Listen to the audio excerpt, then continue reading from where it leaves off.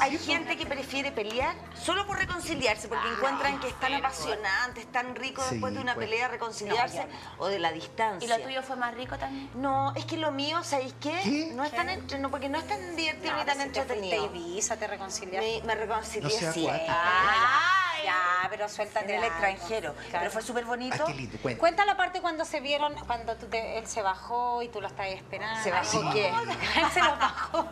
Cuando se lo- Cuando se los bajó, vos estabas ahí esperando. No, no, no, no, no. Lleva ahí tres meses. Lo que pasa No, es que cuando el sí. avión te arreglaste para ir. No, claro, fue lindo porque ¿Eh? estábamos di- eh, divorciados con el pollo, nos Claro. divorciamos. Ah, llegaron a... Y yo me fui a encontrar a mí misma. Ay, se puso bifónica. Y ¿Y fui a se encontrar a mí misma a España, a Ibiza. ¿Y se encontró, encontró? encontró a otra amiga, no se encontró Ahí, ella, pero bueno. Un lugar súper, súper, a súper bueno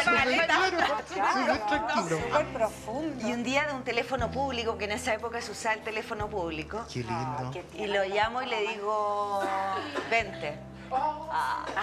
Yo Toma, el primer avión que encuentres y vente. ¿Y se fue al tiro? Fue se fue de una. Y partió, pero al toque así también. Llego pasado mañana, me dice. No, Pero el corazón así. Nunca pensaste, pero la verdad, ya hablando en serio, nunca pensaste que te iba a decir voy. Es que tenía que gra- él tenía programas de televisión y todo, y como no sé cómo se las arregló de haber grabado como 100 capítulos en un día, pero African. Limit estaba grabando. Dijiste, me agarro los últimos, estamos listos. ¿Cuándo Oye, y yo, y, en- e, y estaba ya yo, y estaba con ondas. En esa época tenía onda. Ay, si ahora igual tenés. No, ahí tenía onda. No. Y como eh, tenía mis pantalones hippie que traje una vez, los Sí, claro. lilas, Sí. ¿cachai? Como que más y Qué- negra. ya me peinaba por Ibiza, conocía la isla Flaca perfecto. tísica. Entonces, flaca, flaca. Lo fui a buscar, había arrendado un auto así al aeropuerto. Oh, y aparece pálido, blanco. No, se apareció así. ¡Qué pena! Apareció con esta onda. Ya le va a poner esa foto. Que se va a enojar. Pero era más o menos así.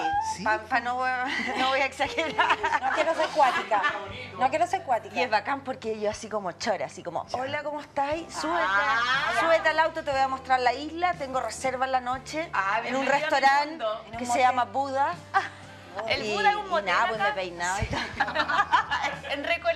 En Marín 014. No me habría Y fue muy, pero muy bonito, Sí, muy pues, sí. bonito. Además yo Tan estaba maní. alojando en una casa de puras mujeres. ¿Ah? nudistas.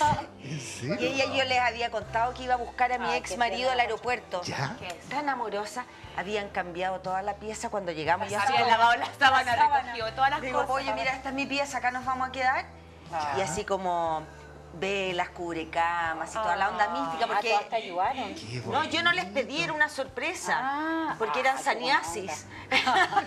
Ay, la mina. Entonces tenían como todo un rito.